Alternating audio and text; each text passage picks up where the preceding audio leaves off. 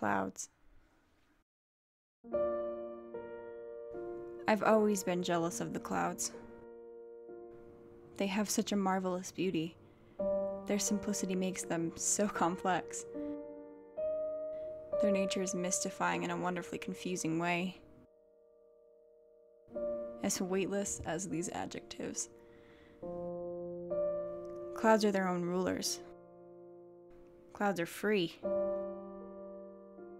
They can be whatever they want, whatever size, shape, color. And people will still look up to the sky in childlike awe. I bet clouds would be happy with what they are. There never seems to be a care in that sky.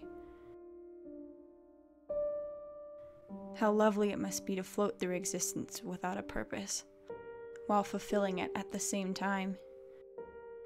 How sublime it must be to live in the ether, where pain and sadness are all but tall tales in a decaying leather bound book. How peaceful it must be to drift aimlessly on the wind, feeling nothing. I wish I were a cloud and live in the blue without feeling like I'm drowning in it.